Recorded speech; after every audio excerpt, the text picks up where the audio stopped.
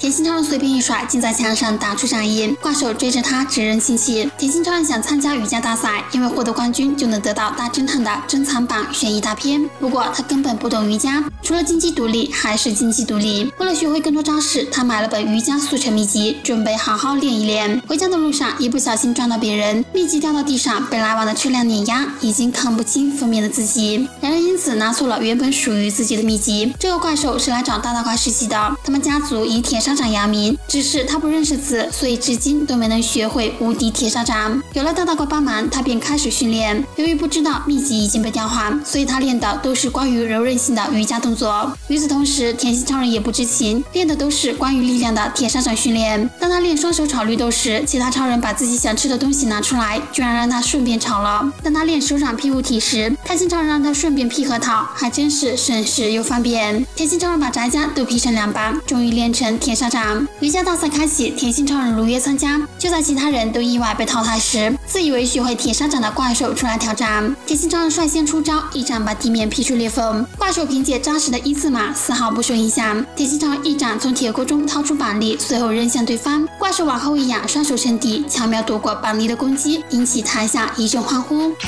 恶！